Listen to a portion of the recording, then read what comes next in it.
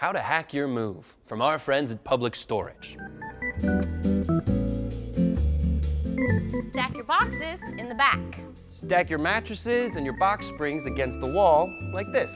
And if you've got any priceless artwork, just slide them right in here between the mattress and the box spring. Ah, that's terrifying. It's a portrait of my mother.